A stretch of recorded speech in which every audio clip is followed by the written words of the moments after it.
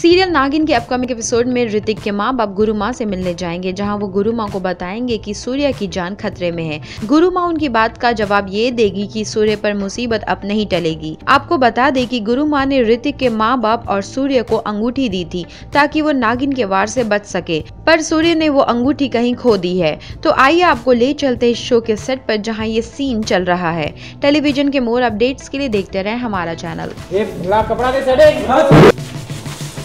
बाद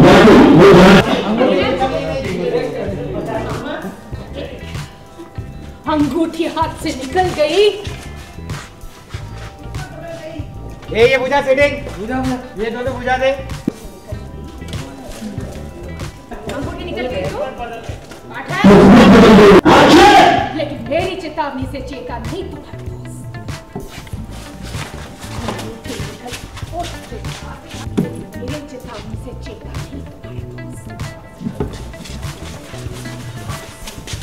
सर मैं खाली कंफ्यूज हूँ। सर सर गए पे मैं बोल दूँ। जय में। माँ फायर आमरा